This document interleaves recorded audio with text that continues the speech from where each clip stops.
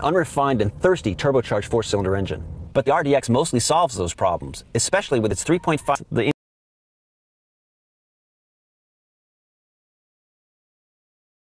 interior looks luxurious. There's lots of padded panels and stitching details, and the perforated leather seats look flocked.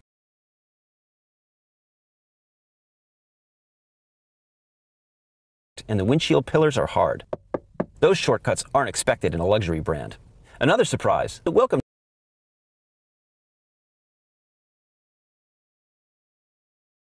change from the typical Acura button-strewn dashboard. There is a spacious driving position inside as well. Even tall drivers had plenty of accommodating.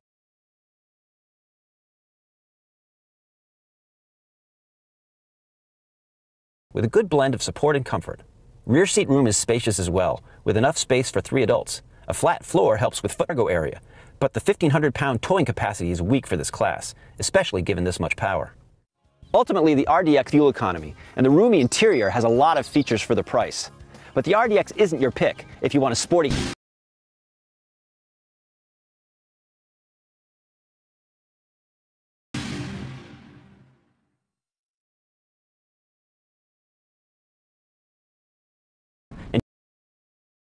generates very quick acceleration times in our tests.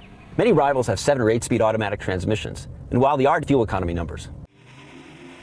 What's not so impressive is that on slippery surfaces, even with all-wheel drive, transferring power to all four wheels. Turns out that driving dynamics don't quite measure up to the powertrain. The RDX prefers driver feedback.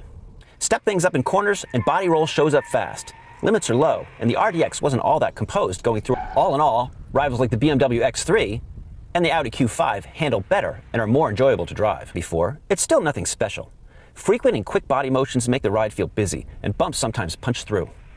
We often complain, and while it's much less pronounced in the RDX, you can still hear it on rough roads.